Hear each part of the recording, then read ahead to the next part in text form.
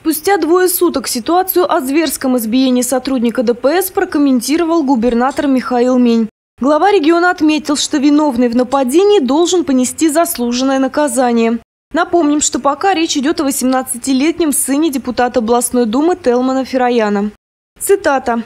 Бесчеловечно, зверски и возмутительно. Убежден, что расследование будет проходить абсолютно объективно и никому не удастся включить какие-либо механизмы давления на следствие. Подобное неуважение закона должно жестко пресекаться.